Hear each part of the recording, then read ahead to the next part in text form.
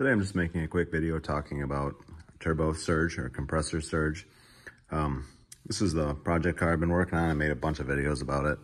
Um, it's my Audi Coupe Quattro that I put a 1.8 liter engine in. Did a lot of, you know, upgrades, different rods and as you can see, intake and bigger injectors and larger throttle body and a bunch of stuff. It's got an AEB cylinder head and the lower end is a AMU out of uh, a 225 horsepower TT. This turbo is a Borg Warner 251 SX and it's a S, S251 SX and it's a pretty good sized turbo. It's 51 millimeter and, and then the, the exducer's 71 millimeters and uh, it does experience a little bit of surge still. I uh, already did a couple things to kind of improve that. It only happens sometimes under light throttle application when you first kind of get onto, when it first starts to get onto boost pressure. And um, I've already increased the turbine housing size a couple times.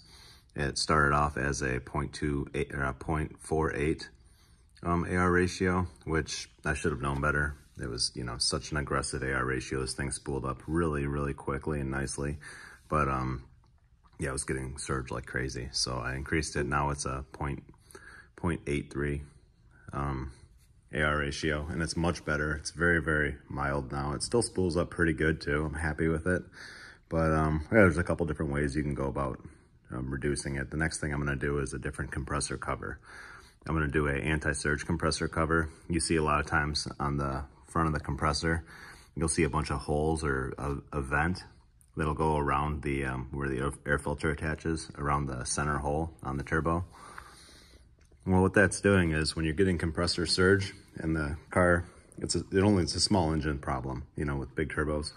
So when it starts to spool up your exhaust side of the turbo, it starts to move more volume of air than your engine can really handle. So it starts to make pulses of pressure back through this side of the um, the turbo and it pushes back up against the impeller and it's very damaging to the turbo. It's hard on the thrust bearing and it starts to make a noise under acceleration that sounds like kind of like that. That's the best imitation I can do of it.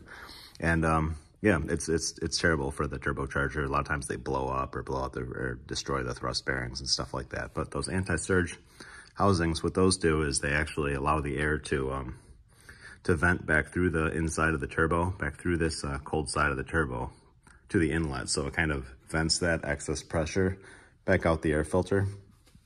And um, yeah, that can, that can reduce that. If you're looking at it, you know, if you're looking at the compressor map, you can see like a, a big shape like this on your compressor map. And then the airflow of the engine, if the airflow of the engine is to the left of the compressor map, um, where it, where how it moves air, then that, I guess that's that's what causes the surge. So when you add an anti-surge housing, it moves the compressor map slightly left, and then it can be back within the range of the engine. So that's the next thing I'm gonna do. It's not very expensive. It's pretty easy to do on these things. You just, kind of the same as most turbos, you just unscrew this housing, this cover here, and then you just screw the new one on, and it's uh, not really a big deal at all. So that's all. I'll uh, I'll show you again when I uh, when I get this all together. And I'm pretty confident that's going to take care of my problem because it's very mild at this point. But yeah, everything else is doing really good. It's running really well and I'm, I'm happy with it. So thanks for watching.